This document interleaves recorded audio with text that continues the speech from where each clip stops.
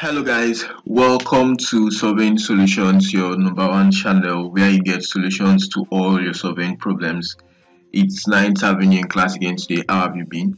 We are going to continue on our series and on this video we are going to convert the DMS we had earlier to what to decimal degrees and um, there are different let's there are a few key points we are going to consider.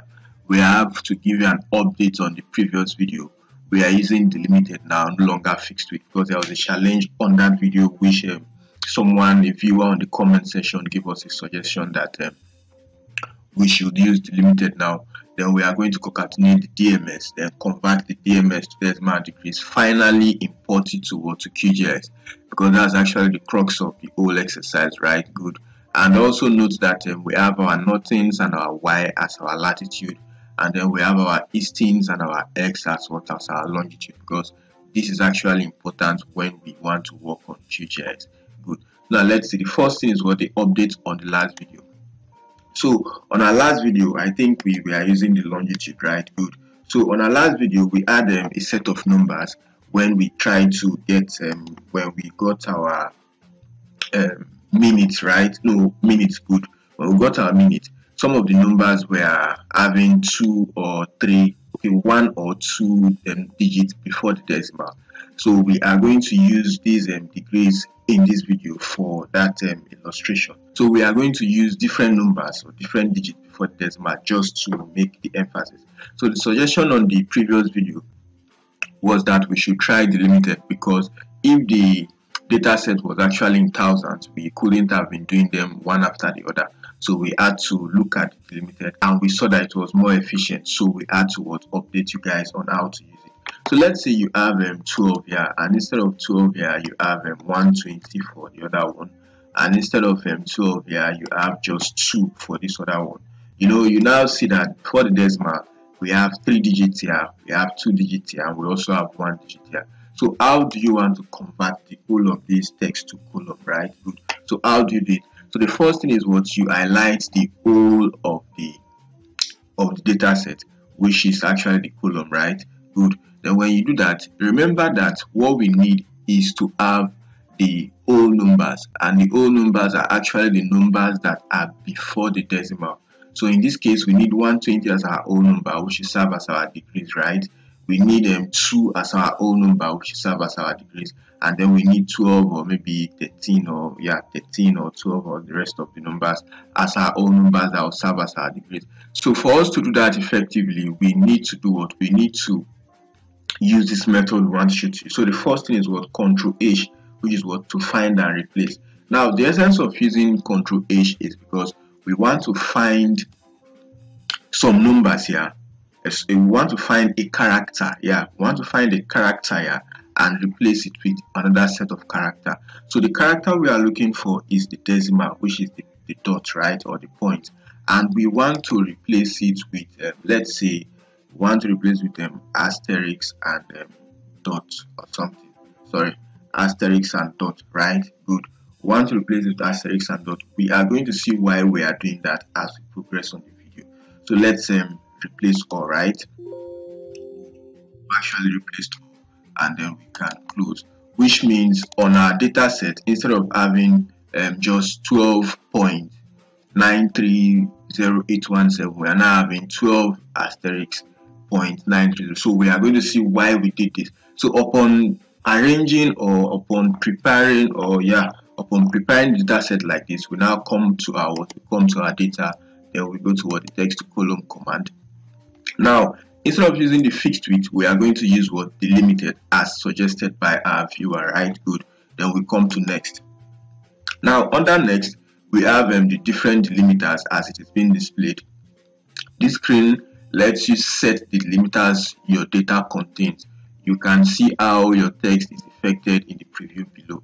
So we are using others because tab serves like most times the default. So we are using others. And under others the delimiter we are going to use now is the asterisk that we want we introduce. So we just click on asterisk. When we use the asterisk you can see that the decimal numbers have all gone to the right hand side whereas the degree have gone to the left hand side and they are separated by what? A line.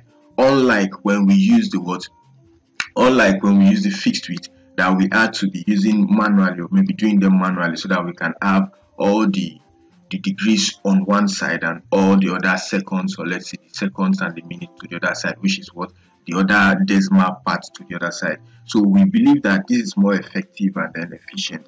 So you now see that all your whole numbers are on the left hand side whether they are two digits or whether they are three digits. And then the other part of the decimal are what? On the right hand side. So the, the delimiter or let's say yeah the most important part of this video is how to use what the delimiter. And then knowing the delimiter you're using that's why we introduce what asterisk before it's actually asterisk before the decimal not decimal before the asterisk. Please also take note of that. It's actually what the asterisk before the decimal. So when you do that just okay next there is nothing much you can just finish. So when you finish you now see that what all your degrees are on one column then the decimal what on the other column. So you can now proceed with all the explanations we have given to you on the previous video. We hope that um, this actually suffices. We are going to leave the link um, to this video on the comment section and we are going to leave a comment on it so that it can help or it can guide them um, some other guys that are going to see it as they continue with um, the other video. So upon doing this um, we believe that we've actually tried to fix what that problem. Good now there is another part of this video we want to shoot which is what the concatenate is actually trying to join text together right? Good. So now let's come to let's come to formula. Let's go to text and then let's look at um, the concatenate right? Good. So before we do that let's see what they have for us there joins several text strings into one text string right that's what it does. Good. So we click on it.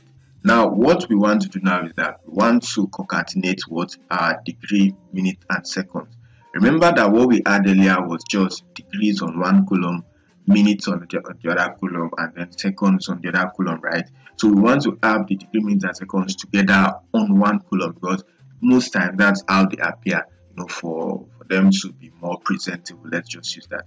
And you know we have um, different cells we can use to do the concatenation so now let's start. The first thing is what we want to bring in degrees then we come to our next column. Now the next column we have what our what our degree symbol. So we just do um, now before ever you type in degree symbols you must quote it in a you must add it in a quote. Yeah you must add it in a quote. If you are typing it manually that means if you are not clicking on the cell if you are not clicking on the cell if you're clicking on the cell excel does the quoting itself but if you're typing it manually as you can even see on the preview you must put you must attach it in a quote right? Good. I don't know if it looks like python. So now for us to have our what our degree symbol we are going to use this um, shortcut. On your keyboard you just um, type or let's say all together. You have um, alt 0176 right? Good. Then that gives you the, the degree symbol right? That gives you the degree symbol. So you also include your second quote to close that um, to close that particular text. Then the next thing in the concatenation is what? Our minute. So we come to the next column. Ensure that you always click on the next column else it will be joined together. So we come to our minute right? Good. Then we come to the next column. Remember that for the minute we have um, our is it um, apostrophe right? So you see that um, you can even see on the preview what you've done. So, we already have 12 degrees 55 minutes right? Good. Then we come to the next column. That next column gives us the room to impute our seconds right? Good. And then the seconds also has a symbol. And the symbol for the seconds is actually a quote. So we have um, double quote here then quote I think four times. Do that four times as you can see on the screen. So we have um, we have it one two three four. Good. So we have it four times. And you can now see we have 12 degrees 55 minutes 50.9412 seconds right? So we have been able to concatenate uh, degree minutes and seconds to one particular cell as you can see on this um, on this particular on this particular cell. So we can just say okay. Then when we say okay we can see that it has been what has been concatenated. So we have what 12 degrees um, 55 minutes 50 point what 941 seconds so we can decide to good we can decide to what we can decide to autofill them.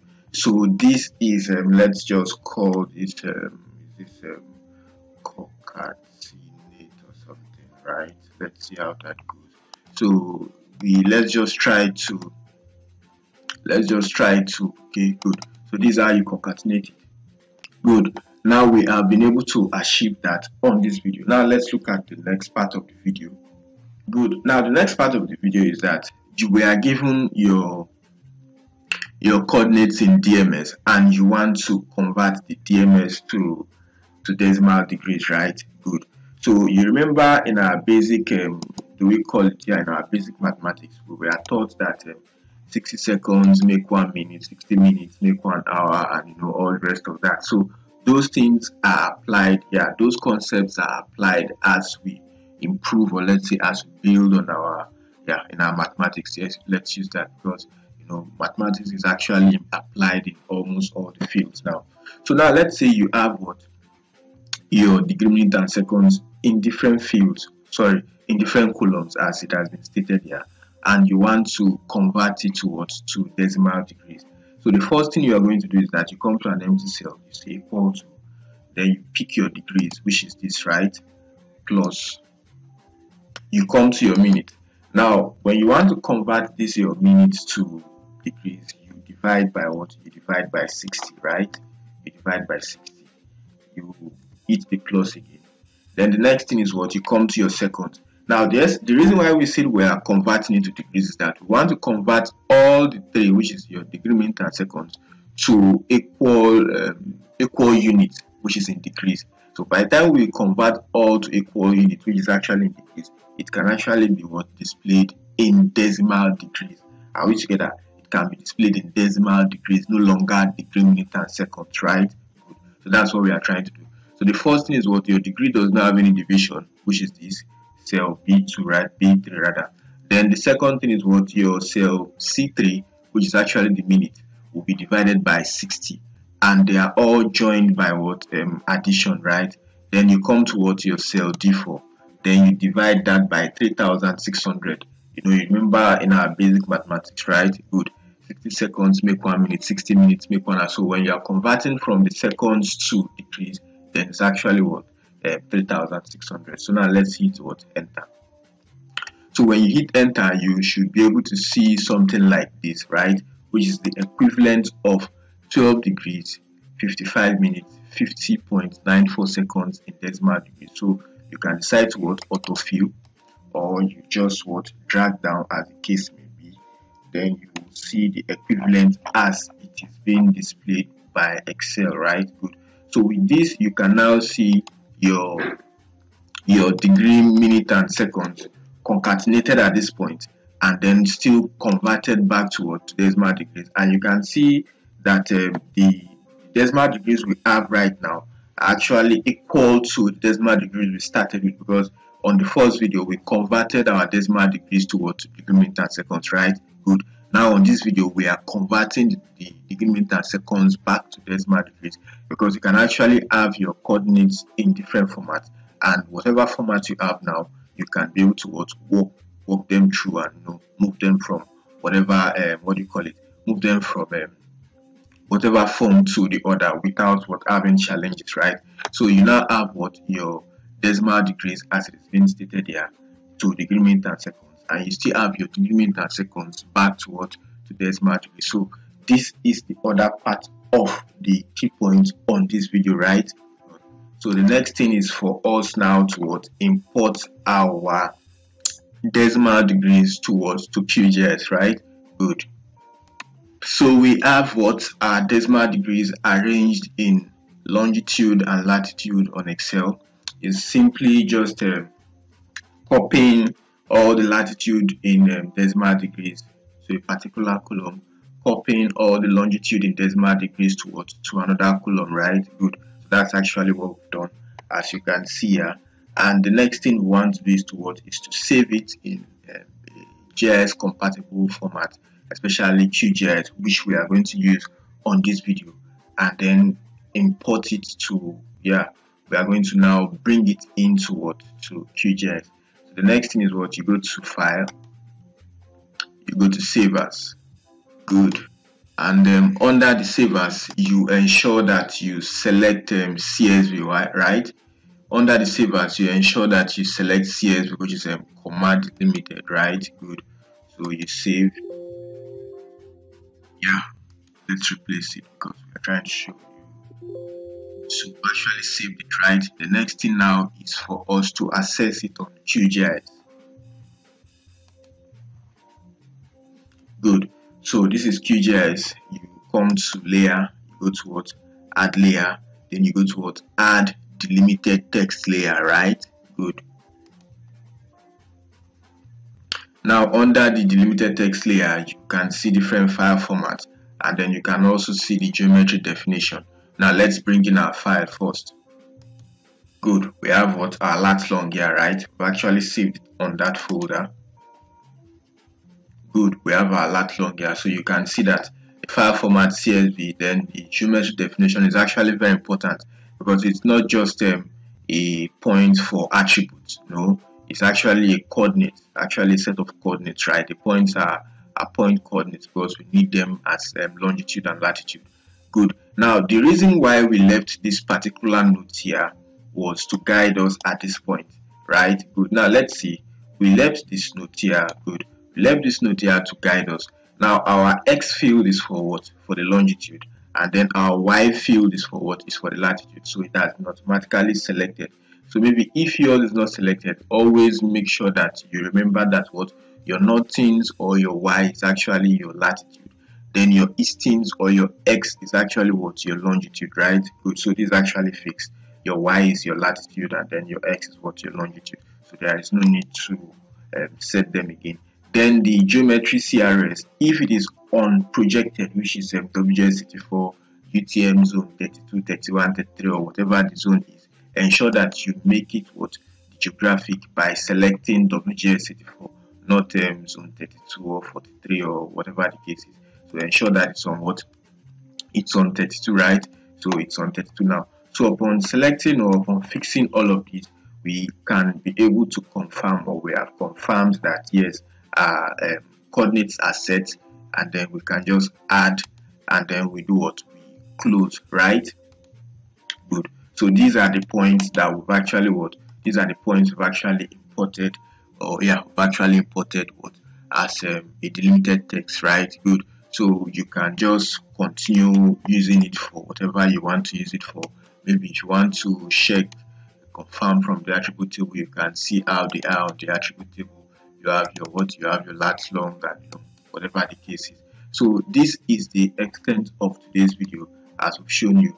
To proceed you can decide to overlay it on um, the OSM um, yeah OSM plugin or yeah the OSM map right or maybe you come to web and then you go to quick map services and then you go to google and you know you overlay it on your google satellite or whatever the case is. So depending on what you want to achieve with it we've actually shown you how you can import it to QGIS so this is the extent of um, today's video.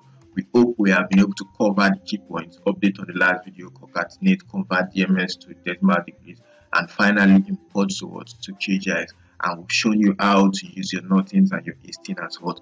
Latitude and um, longitude. So we hope we've provided solution to this um, um, solving problem. And thanks for coming to class. If you have any question if you have any suggestion we want to appreciate that viewer that um, give us this um, that give us the suggestion on using the delimited so if you have any suggestion you can still leave it on the comment section and we are going to get back to you. So yeah we are going to see in our next video. Ensure you check the description section to help us buy a coffee because actually very very important for us you know by encouraging us. Ensure you share it with your friends your colleagues you know just keep sharing it and ensure you keep staying safe and um, have a very good time. We are going to see you very soon. Bye